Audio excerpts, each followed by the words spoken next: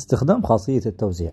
وهنا نقصد أنني سأقوم باستخدام خاصية التوزيع بطريقة عكسية. سأقوم بتحليل الحدود. أنا أعلم باستخدام خاصية التوزيع. أقوم بضرب العدد الذي في الخارج أو الحد x أيا يكن بالحدود التي في الداخل. ستة في الثلاثة x وستة في موجب اثنان. فتصبح ثمانية عشر x زائد اثنان. لكن الفكرة هنا أنني أريد أن أقوم بالتحليل أي عكس استخدام خاصية التوزيع. الآن لو قمت بتفصيل الحل أنا أعلم أن الثمانية عشر إكس إذا أردت أن أقوم بضربها أو كتابتها على شكل نواتج ضرب أعداد أولية العدد الثمانية عشر هو ثلاثة في اثنان في ثلاث لأنه ستة في ثلاث. وهذه الأعداد الأولية له ثلاثة في ثلاثة في اثنان. أما العدد 12 هو ثلاثة في اثنان في اثنان.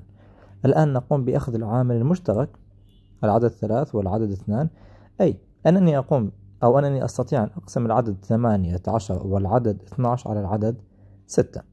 وأقوم بكتابته بهذه الطريقة ستة في ثلاثة إكس زائد ستة في اثنان. الآن العدد ستة كما ذكرت هو عامل مشترك للحد الأول والثاني. أقوم بكتابته خارج الأقواس. يبقى من الحد الأول ثلاثة x أي أنني قمت بقسمة الحد الأول على الستة والحد الثاني يبقى به اثنان لأنني قمت بقسمة على العدد ستة. طبعا عندما أقوم بحل المسائل الأخرى سأقوم باختصار العملية. الآن سأقوم بالبداية استخدام خاصية التوزيع والتحليل. أنا أريد في هذا الدرس فقط التحليل ليس استخدام خاصية التوزيع. الاثنان m أس اثنان هي اثنان. ضرب m ضرب m أما ال y m هي y في m لذلك ألاحظ أن العامل المشترك هو ال m أي أنني لو قمت بقسمة الحد الأول على m يبقى 2 m والحد الثاني يبقى y الآن انظر إلى هنا هذا المثال سأقوم بتحليله من دون أن أقوم بكتابة الأعداد الأولية. لدينا أعداد. العدد 12 والعدد 8 كلا العددين أستطيع قسمتهم على العدد 4 ويسمى العامل المشترك الأكبر. لدينا x أس 2 و x نأخذ الأس الأقل أو ذات الدرجة الأقل. ال x أس واحد أستطيع أن آخذ x أس واحد من كلا الحدود. لدينا هنا M وهنا M أس اثنان. كما ذكرت نأخذ أقل أس فيها وهي M أس واحد. أما ال y غير موجودة في الحد الأول فلذلك لم أخذها. أربعة قسم 12 قسمة أربعة يبقى ثلاث. x أس اثنان إذا أخذنا منها x أس واحد يبقى x لأنني قمت بالقسمة على x. ال m إذا أخذتها كلها يبقى واحد والواحد لا يكتب في عملية الضرب أي يبقى ثلاثة x. هنا بطريقة مشابهة الثمانية اقسمها على الأربعة يبقى اثنان. m أس اثنان خذ منها m. تبقى m واحدة والإكس على إكس نقوم بحذفها وال y. هذا السؤال ستة x أس اثنان زائد x. انظر إلى العامل المشترك. كما ذكرت خذ ال x الأقل إكس أس اثنان وإكس تبقى إكس واحدة. أستطيع أن أخذ فقط ال x كعامل مشترك. لكن عندما نأخذ ال x من الحد الثاني أغلب الطلبة يكتبوا صفر. هي ليست صفر. إكس على الإكس هي واحد. فضع العدد واحد كباقي العامل المشترك أو كباقي القسمة. في السؤال الأول 15 W و 3 V. ال W V كمتغيرات لا يوجد عامل بينهم. لكن هنا للخمسة عشر والثلاث أستطيع أن أخذ العدد ثلاث كلا العددان يقسمان على الثلاث. فيبقى خمسة W لأن خمسة عشر على الثلاث خمسة W والثلاث على الثلاث هي واحد أي سالب واحد في السؤال التالي يحتوي على ثلاثة حدود. سبعة U أس اثنان T U أس اثنان واحد وعشرين U T أس اثنان ناقص U T. نبحث عن الأعداد. العدد الأول سبعة واحد وعشرين وهنا سالب واحد. لا يوجد عوامل مشتركة لهذه الأعداد. لو كانت سبعة وواحد وعشرين فقط أستطيع أن أخذ العدد سبعة كعامل مشترك. لكن هنا الواحد فلا أستطيع أن أخذ عامل مشترك لهذه الثلاثة أعداد. الآن ننتقل إلى المتغيرات ونأخذ الأس الأقل. U أس اثنان U و U نأخذ U واحدة. هنا T أس اثنان ثم لديك T أس اثنان وفي النهاية T. نأخذ T واحدة. من الحد الأول يبقى العدد سبعة كما هو. وال U أس اثنان أخذنا منها U واحدة يبقى U وال T أس اثنان أخذنا منها T واحدة يبقى T لأن T أس اثنان قسمة T هي T. الواحد وعشرين كما هي ثم أخذنا ال U يبقى T. كما ذكرت بعض الطلبة يكتبوا صفر لكنها في الحقيقة U على T. أنا قمت بقسمة هذه الحدود كلها على U T وهو العامل المشترك فيبقى واحد من الحد الأخير ليس صفر. هنا في هذه المسائل سنستخدم طريقة مختلفة لإخراج العامل المشترك لدي أربع حدود في كل سؤال. سأخذ عامل مشترك من كل حدين. فمثلا في السؤال الأول سأخذ عامل مشترك من الحد الأول والثالث وأستطيع من الأول والثاني. نلاحظ في الحد الأول والثالث أستطيع أن آخذ عامل مشترك R سأقوم بكتابتهم بجانب بعض والخمسة إن مع العدد خمسة أو سالب خمسة. كما ذكرت الحد الأول والثاني نستطيع أن نأخذ المتغير R يبقى من الحد الأول N وهنا ناقص واحد لأنني قمت بالقسم على الآر. هذه الأعداد أو هذه الحدود أستطيع أن أخذ العدد خمسة منها. إذا أخذت الخمسة يبقى N ناقص واحد. انتبه دائما هي واحد ليس صفر. الآن لاحظ هنا معي الحد إن ناقص واحد موجود في كلا الحدين. إن ناقص واحد وإن ناقص واحد وهو حد مضروب بالعدد الآر أو بالخمسة. فأستطيع الآن أن آخذ الإن ناقص واحد كلها كعامل مشترك. فيبقى من هنا فقط المتغير R وهنا يبقى العدد خمسة. وهذا هو التحليل لهذه الحدود. نعيد المسألة مرة ثانية في السؤال B. لدينا ثلاثة إن B خمسة عشر B ناقص أربعة وناقص عشرين. خذ الأول مع الثاني. ثلاثة إن B مع الخمسة عشر B. ونلاحظ من الحد الأول والثاني لدينا عدة متغي... عوامل. وهي في البداية العدد ثلاث لأن ثلاثة تقسم على الثلاث والخمسة عشر تقسم على الثلاث. وأستطيع أن آخذ المتغير B هنا. فأخذت العامل المشترك هو ثلاثة B يبقى في الحد الأول فقط n. هنا يبقى خمسة لأن ال B مع ال B قمنا بحذفها. الخمسة عشر على الثلاث هي خمسة. الآن الحد الثاني والثالث أو الثالث والرابع. سأخذ العدد سالب أربعة كعامل مشترك. لكن انتبه عندما تأخذ عامل سالب اعكس الإشارات. فالسالب أربعة n. يبقى فيها موجب إن لأنني أخذت عامل بقيمة سالبة. السالب عشرين تصبح موجب خمسة لأن سالب عشرين قسمة سالب أربعة هي موجب خمسة. وكما ذكرنا ال n زائد خمسة هي عامل مشترك في الحد الأول والحد الثاني. هنا يبقى ثلاثة بي وفي الطرف الثاني أو الحد الثاني يبقى ناقص أو سالب أربعة. طبعا أستطيع أن أقوم بحلها بطريقة مختلفة. مثلا خذ الأول مع الثالث. نستطيع أن نأخذ عامل مشترك n فقط يبقى ثلاثة B في الحد الأول والحد الثالث يبقى منه سالب أربعة. خمسة عشر B والسالب عشرين أستطيع أن أخذ منهم العدد خمسة فقط. لو أخذنا موجب خمسة يبقى هنا الثلاثة B لأن خمسة عشر على الخمسة هي ثلاثة وال B كما هي وسالب عشرين على الخمسة هي سالب أربعة واكمل بنفس الطريقة. خذه عامل مشترك ويبقى أو يصبح نفس الإجابة تماما. هذه المسائل أيضا تحل بطريقة مشابهة. السؤال الأول أستطيع أن أخذ من الحد الأول والثاني C إذا أخذنا C في الحد الأول يبقى العدد واحد لأن C على C هي واحد. هنا يبقى سالب اثنان D أما الحدود التالية أستطيع أن أخذ العدد أربعة. العدد ثمانية والعدد أربعة يقسمان على العدد أربعة فلذلك خذ العدد أربعة كعامل مشترك. أنا أخذته كعدد موجب فتبقى الإشارات كما هي. اثنان دي ناقص واحد.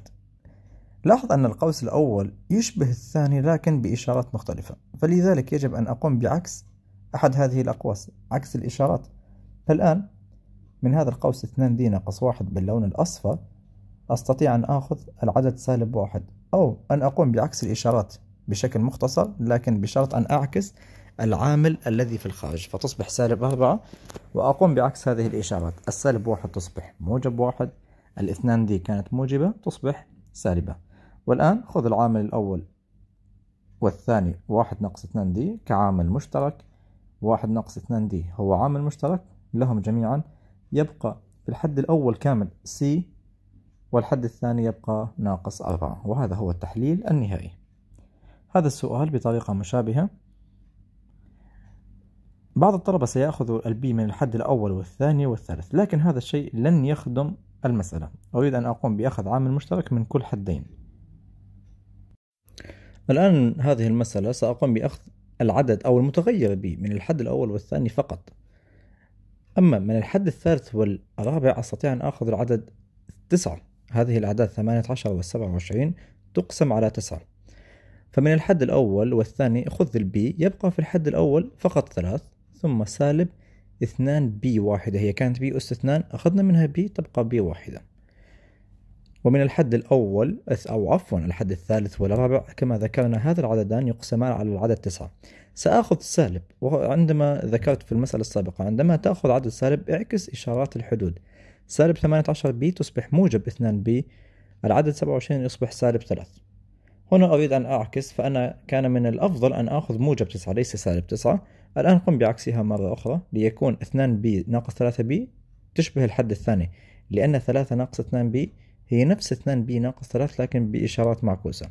عكست إشارة المعامل وعكست إشارة الأقواس. بهذه الطريقة تقوم بعكس الحدود وهذه الطريقة ستستخدمها في حل المعادلات في المستقبل.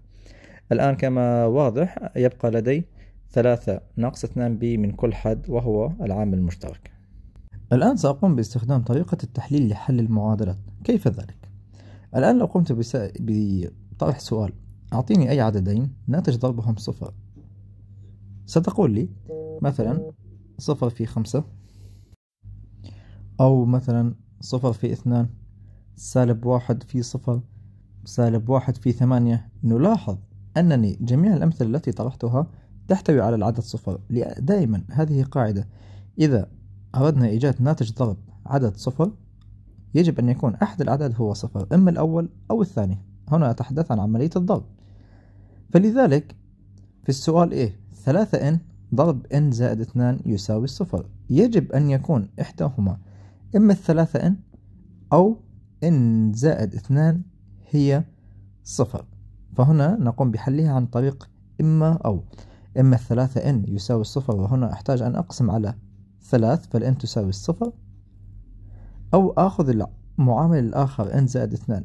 إما n زائد اثنان هذه القيمة كلها ستكون قيمتها صفر أي n زائد اثنان يساوي صفر وهذه معادلة تحل عن طريق طرح اثنان n يساوي سالب اثنان. فهذه المعادلة لها حلان. إما ال n صفر أو ال n يساوي سالب اثنان.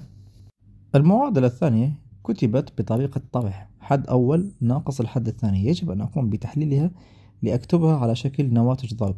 سآخذ عامل مشترك وهو الثمانية B لأنني أستطيع أن أقسم الحدود على ثمانية وعلى ال B يبقى في الحد الأول B واحدة والثمانية قسم الثمانية واحد والأربعين قسم الثمانية هي خمسة وال B أخذناها عامل مشترك. فإما الحد الأول ثمانية B هو الصفر وعند القسمة على ثمانية فال B هي الصفر أو الحد الثاني B ناقص خمسة يساوي صفر وعند جمع العدد خمسة فتكون قيمة ال B هي خمسة. وهذا هو الحل. إما صفر أو خمسة. هذه الأعداد التي تجعل المعادلة قيمتها صفر.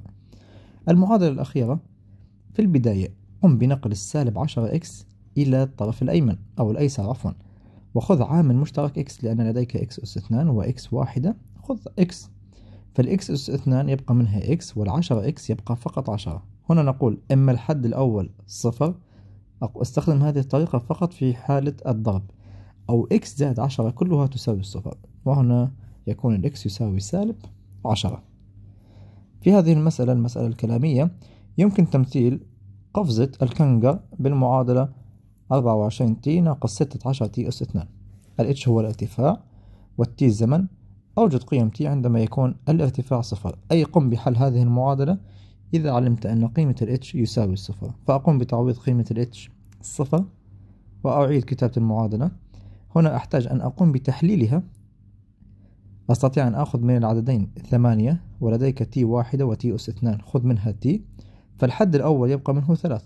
فقط. ثلاث أربعة وعشرين على ثمانية هي ثلاث وال T مع ال T قمنا بحذفها أو اختصارها. والحد الثاني سالب اثنان T إما الحد الأول ثمانية T يساوي صفر أي T يساوي الصفر وإما الحد الثاني ثلاثة ناقص اثنان T يساوي الصفر يجب أن يكون أحد الأعداد هو الصفر. هنا انقل سالب اثنان تي ثم اقسم على العدد اثنان فالتي تساوي سالب اثنان. فهنا الكنغر يكون ارتفاعه صفر إما عند الزمن صفر في بداية القفزة أو بعد ثلاثة على اثنان ثانية أي بعد ثانية ونصف. يعود إلى الأرض لأنه يقفز ويعود مرة ثانية إلى سطح الأرض. سنقوم بالتحليل بشكل سريع. لديك الأعداد واحد وعشرين وخمسة عشر تقسم على ثلاث فإذا قسمنا على ثلاث يبقى سبعة b وسالب خمسة a ونلاحظ أن ال b وال a متغيرات مختلفة لا يوجد بينهم عامل مشترك. هنا هذه الأعداد الأربعة عشر والاثنان أستطيع أن آخذ عامل مشترك اثنان. ولديك سي أس اثنان وسي خذ السي الأقل. هنا يبقى في الحد الأول يبقى سبعة سي والحد الثاني اثنان سي قسمة اثنان سي يبقى فقط واحد. سأخذ مثلا مسألة رقم ثلاث. مسألة مختلفة وبها عوامل مختلفة. نلاحظ في البداية الأعداد عشرة تسعة سالب واحد. لا يوجد عامل مشترك لهذه الأعداد. العشرة والتسعة والواحد لا يوجد عدد أستطيع أن أقسم عليها. نأخذ المتغيرات. لديك جي أس اثنان وجي أس واحد وجي أس اثنان. خذ الجي الأقل وهي الجي أس واحد. بالنسبة للمتغير اتش لديك اتش أس اثنان اتش أس اثنان ثم اتش خذ الأس الأقل دائما. فإذا سنأخذ عامل مشترك. هو جي و اتش في الحد الأول يبقى العدد كما هو عشرة. الجي طرحنا منها واحد يبقى جي والاتش واحدة يبقى اتش هنا العدد كما هو تسعة. الجي قمنا بأخذها كاملة. جي على جي هي واحد فتذهب. h أس اثنان يبقى منها h وهنا بطريقة مشابهة ناقص جي والاتش سنقوم باختصارها لأن اتش على اتش واحد. هنا لديك الأعداد اثنا عشر ستة اثنان. وهذه الأعداد كلها تقسم على العدد اثنان. ففي البداية لديك عامل مشترك عددي هو اثنان. بالنسبة للمتغيرات لديك j j أس اثنان j أس اثنان. أي أستطيع أن آخذ الأس الأقل هو j أس واحد. لديك k أس اثنان k في الوسط ثم k أس اثنان. وخذ الأس الأقل هو k اثناش على اثنان ستة وال j مع ال j قمنا بأخذها يبقى k واحدة. الستة على اثنان هي ثلاث. وال j هي أس اثنان أخذنا منها واحدة يبقى j واحدة وال k أخذناها كلها. وهنا اثنان على اثنان هي واحد فلا تكتبها لأن الواحد هو محايد. j واحدة وأيضا ال k أس واحد. المسائل الثانية هي أربعة حدود أيضا تحليل لكن سنستخدم التحليل مرتان في البداية سأخذ عامل مشترك من الحد الأول والثاني من ال NB والإثنان N. والعامل المشترك كما هو واضح المتغير N فقط. المتغير N إذا أخذته من الحد الأول يبقى B وهنا يبقى موجب اثنان. الحد الثالث والرابع أستطيع أن أخذ العدد ثمانية كلاهما يقسم على الثمانية فثمانية بي على ثمانية يبقى بي وستة عشر على الثمانية يبقى اثنان. الآن آخذ العامل المشترك هو بي زائد اثنان. أستطيع أن آخذه كله عامل مشترك لأنه معامل ضرب. فإذا أخذنا بي زائد اثنان كعامل مشترك يبقى في الحد الأول n ومن الحد الثاني يبقى العدد ثمانية. وهذا هو التحليل النهائي لهذه المسألة. نحاول أن نأخذ مسألة مختلفة أخرى. مثلا لو أخذنا السؤال السادس xy ناقص سبعة x زائد سبعة y ناقص تسعة وأربعين. كما ذكرت خذ حد أول مع الثاني أو تستطيع أن تأخذ الحد الأول مع الثالث. كلاهما سيعطي نفس النتيجة. لكن الأول مع الأخير صعب. الإكس الأول والثاني أستطيع أن آخذ الإكس كمعامل يبقى الواي والناقص سبعة. هنا نستطيع أن نأخذ العدد سبعة. كلاهما يقسم على العدد سبعة. سبعة y على سبعة هي y. سالب تسعة وأربعين على سبعة هي سالب سبعة. الآن أصبح لدينا معامل مشترك أو عامل مشترك هو y ناقص سبعة. خذه كمعامل في الخارج يبقى من الحد الأول x والحد الثاني يبقى سبعة. وهذه نواتج ضرب. بين الأول والثاني. أيضا سأخذ السؤال السابع. ثلاثة b c ناقص اثنان b ناقص عشرة زائد خمسة عشر c. الحد الأول والثاني به عامل مشترك هو المتغير بي. يبقى ثلاثة سي ناقص اثنان. العامل المشترك دائما تذكر هو ناتج قسمة. الحد الثالث والرابع لديك العدد عشرة والعدد خمسة عشر كلاهما يقسم على العدد خمسة. فالآن إذا أخذت سالب خمسة يجب أن تقوم بتغيير إشارات الحدود. إذا أخذت الموجب خمسة تبقى الحدود كما هي كما الإشارات. أنا أخذت سالب خمسة فالسالب عشرة تصبح موجب اثنان الخمسة عشر سي تصبح سالب خمسة كما ذكرت اعكس الإشارات. لكن الآن سأضطر إلى أن أقوم بعكس الإشارات مرة أخرى. أنا يجب كان عليك يجب أن من البداية أن تأخذ موجب خمسة لأن العامل المشترك ثلاثة سي ناقص اثنان الثلاثة سي هي الموجبة أما الاثنان هي السالبة. وكما تلاحظ أن الاثنان أصبحت موجبة لأنني أخذت سالب خمسة من السالب عشرة. سالب عشرة على سالب خمسة هي موجب اثنان. فالآن سأقوم بعكس الإشارات مرة أخرى عكس إشارة القوس الثاني اثنان ناقص ثلاثة سي. لكن إذا أردت أن تقوم بعكس الإشارات اعكس إشارة المعامل في الخارج. أي أقصد السالب خمسة. فتصبح B أو هذه الزائد خمسة وهنا أقوم بعكسها. موجب ثلاثة سي وسالب اثنان وهذه كما هي لم أقم بتغيير أي من الإشارات. الآن آخذ المعامل لأنه نفس المعامل ثلاثة c ناقص اثنان وأيضا ثلاثة c ناقص اثنان يبقى b وزائد خمسة. سأنتقل لحل معادلات باستخدام التحليل. مثلا نأخذ هذه المعادلة الأولى هو قام بتحليلها بشكل جاهز 3K ضرب K زائد 10 لديك ناتج ضرب حد أول 3K والحد الثاني K زائد 10 يجب أن يكون إحداهما صفر إما أو. نقول إما 3K يساوي الصفر أو K زائد 10 يساوي الصفر لديك حلان من المعادلة الأولى اقسم على العدد ثلاث فكي تساوي الصفر هذا الحل الأول. من المعادلة الثانية اطرح عشرة فالكي تساوي سالب عشرة. هذا الحل الأول. والثاني. السؤال العاشر أيضا المسألة هي مكتوبة على ناتج ضرب عوامل أربعة إم زائد اثنان كلها ضرب ثلاثة إم ناقص تسعة. إما أو إما أربعة إم زائد اثنان يساوي الصفر أو ثلاثة إم ناقص تسعة أيضا يساوي الصفر. الحد الأول أو المعادلة الأولى تحتاج أن تطرح اثنان في البداية فتصبح أربعة إم يساوي سالب اثنان. هذه تحليل المعادلات بسيطة أو نقولها للطرف الآخر. أربعة إم يساوي سالب اثنان ثم أقسم على العدد أربعة فالإم تساوي سالب نصف. سالب اثنان على أربعة بعد التبسيط سالب نصف. هنا اجمع تسعة فثلاثة إم يساوي موجب تسعة. اقسم على العدد ثلاث فالإم تساوي واحد على ثلاث أو عفوا تسعة على ثلاث هي ثلاث. مثلا سنأخذ السؤال الحادي عشر لكن أنت يجب أن تقوم بتحليله. هذا ناتج طرح. الطرح لا يكون إحداهم صفر يجب أن يكون ضرب فأخذت خمسة b عامل مشترك فيبقى في الحد الأول من العدد عشرين أربعة و b أس اثنان خذ منها b يبقى b وناقص ثلاث. إما العدد الأول أو الحد الأول هو صفر خمسة b يساوي الصفر فال b قيمتها أيضا صفر. أو أربعة بي ناقص ثلاثة يساوي الصفر يجب أن يكون إحداهما هو الصفر. فخذ الثلاث لليمين تصبح موجب ثلاث واقسم على العدد أربعة فالبي تساوي ثلاثة على أربعة. هذه الطريقة طبعا ليست فقط لمعاملين من الممكن أن تكون ثلاثة حدود ضربية. إذا كان لديك نواتج ضرب وقيمتها صفر يجب أن يكون إحداهما يساوي الصفر. هذه المعادلة يجب أن تحلل لكن في البداية خذ هذا العدد لليسار أو هذا الحد 14 R يصبح سالب.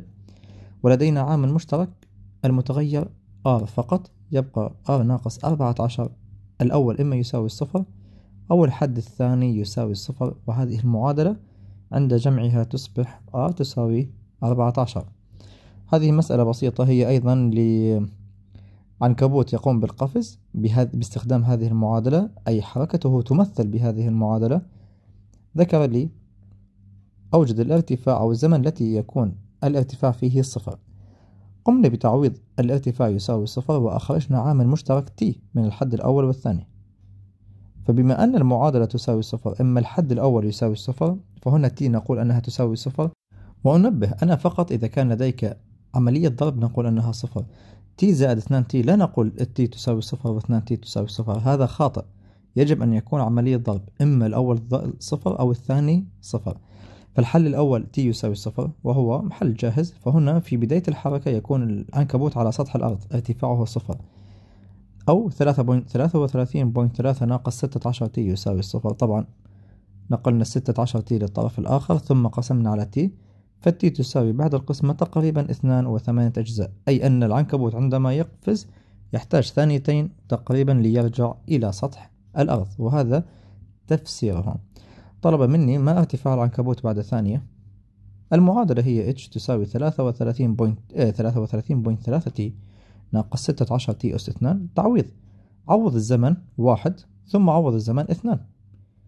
فبعد ثانية واحدة قم بتعويض ال t واحد في المعادلة وقم بحسابها في الآلة الحاسبة. ثلاثة وثلاثين t سأستخدم أنا فقط الثانية الحل الثاني. سأترك ال t واحد.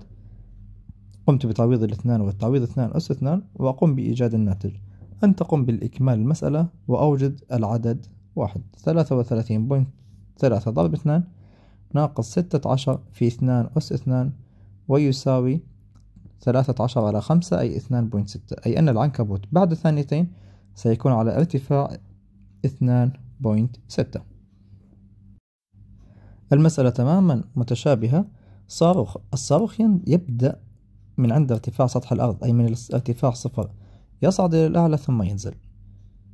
الآن ما ارتفاع الصاروخ عند عودته إلى الأرض؟ مباشرة صفر لأنه يصعد إلى الأعلى ثم يهبط مرة ثانية إلى نفس السطح فهو صفر. ذكر لي أفرض أن الارتفاع صفر في المعادلة وقم بحلها لإيجاد ال t أخرجنا عامل مشترك t يبقى 125 ناقص 16 t أس واحد يساوي صفر. إما t يساوي صفر والصاروخ هنا معناه أنه على ارتفاع صفر عند الزمن صفر وهذا معناه أنه عند بداية الانطلاق كان على سطح الأرض. ثم 125 ناقص 16 t. هذه من الممكن أن تكون صفر وعند حل هذه المعادلة تجد أن التي تساوي 7.8 وهذا الزمن هو بعد عودة الصاروخ. انطلق إلى الأعلى ثم هبط إلى الأسفل مرة أخرى.